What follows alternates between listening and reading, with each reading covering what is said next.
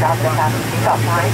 After the fast seatbelt sign has been turned off, please check seatbelt compartment closet and overhead bins for any articles you may have brought on with you.